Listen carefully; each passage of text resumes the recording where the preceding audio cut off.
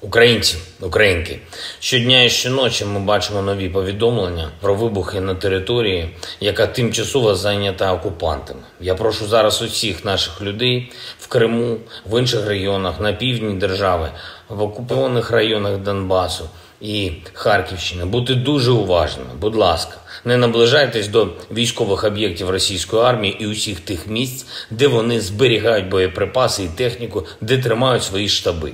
Причини вибухів на окупованій території можуть бути різні, дуже різні, в тому числі цитую визначення самих окупантів головотяпств. Але сенс у них у всіх один знищення логістики окупантів, їхніх боєприпасів, військової та іншої техніки, командних пунктів рятує життя наших людей.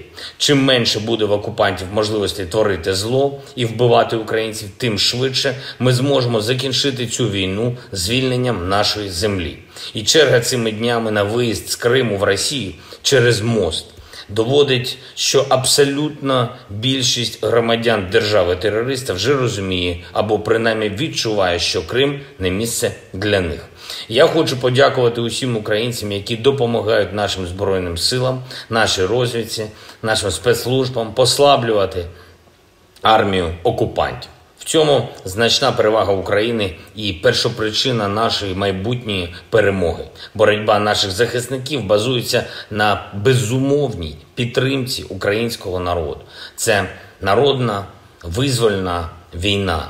Це всеукраїнська боротьба за свободу і незалежність для нашої держави. Україну захищають так чи інакше мільйони, мільйони людей, які воюють на фронті, які борються за свої міста і села, зокрема в окупації, які зупиняли техніку окупантів, які інформували і інформують нашу розвідку та спецслужби, які протистоять окупантам в їхньому тилу, які забезпечують необхідне постачання для України і роботу усіх наших державних інституцій та економіки, які волонтерять, які б'ються за наші інтереси за кордоном, які воюють в інформаційній війні. І ми маємо зробити і зробимо все, щоб зберегти цей всенародний фундамент оборони, щоб підтримка України у світі не зменшилась, і щоб наша держава рухалась до перемоги. Має не зменшуватись і наша власна активність абсолютно всіх, хто так чи інакше став на захист нашої держави.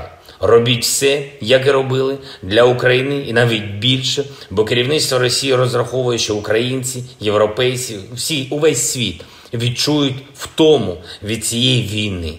Ми ж повинні зробити все, щоб втомились не ми і не наші друзі та партнери, а наш ворог. Щоб ми вигнали окупантів з України щодня Росії має ставати все складніше воювати. Це наше військово-політичне завдання номер один.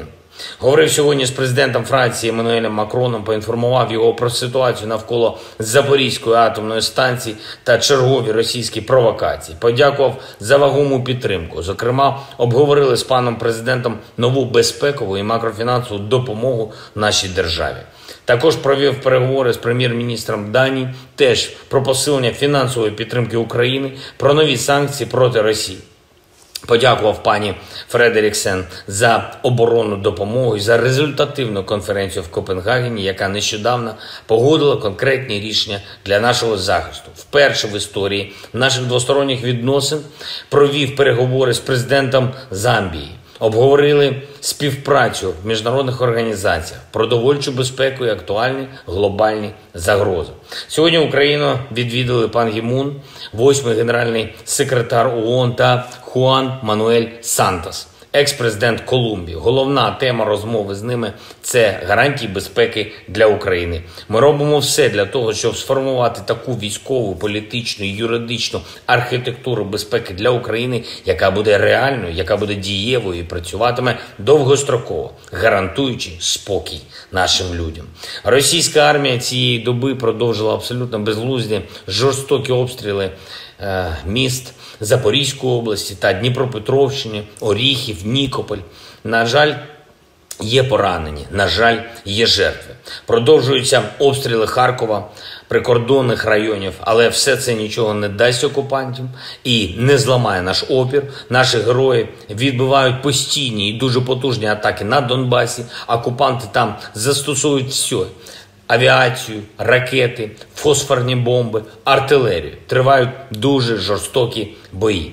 Маємо пройти через це, витримати все і вибороти життя. Україна має перемогти, і це буде.